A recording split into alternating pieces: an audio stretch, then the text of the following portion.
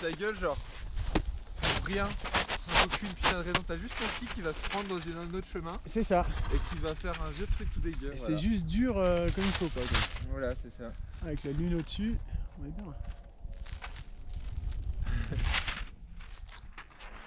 Vas-y, je te suis pour ta descente. Donc essaye de faire quand même des grands virages histoire que je puisse te suivre euh, sans aller trop vite et en regardant où je vais. Ouais, bah là, de toute façon, vu comme c'est dégueu, gros, euh.